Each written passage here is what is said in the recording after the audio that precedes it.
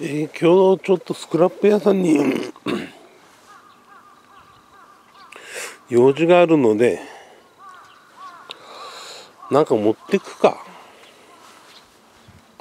電動工具持ってくか。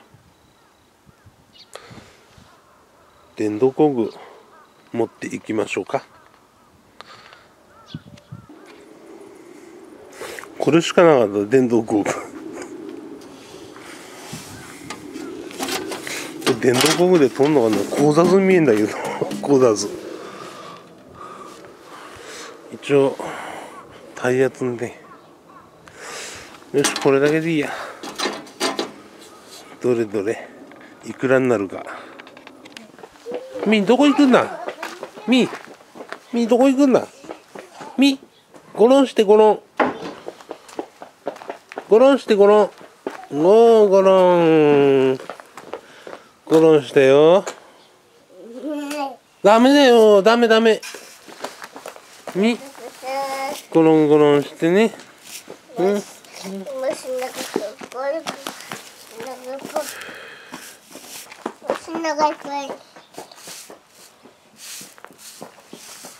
み。み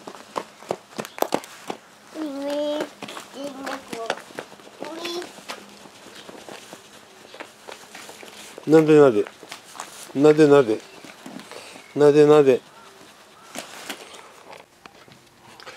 え電動工具グッズの単価出ました。えー、見た目が見た目が電動工具グッズのスクラップは1キロ100円でした。で見た目がコーダス工業用ザッピングみたいな電動工具図は80円でした。であれだけで7000円ぐらいになりましたね。7500円ぐらいになったのかな。うん電動工具も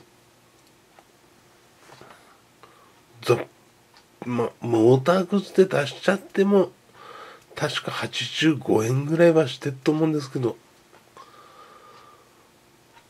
まあ電線ついてれば100円だって言われたんで持ってってみたんですけど確かに100円でした。80円ぐらいとかって集めてもいいな。たまに集めてんですけど俺電動工具。オークションで売れんのも入ってくるからちょこちょこ頑張って集めて。もし売れそうなのは売っちゃって売れないのは輸出ですね。あれ海外に輸出です。どの辺に輸出されてんのかな？そこまでは分かんないけどあれ海外に輸出されて現地で整備されてリサイクルリユースされてます。以上。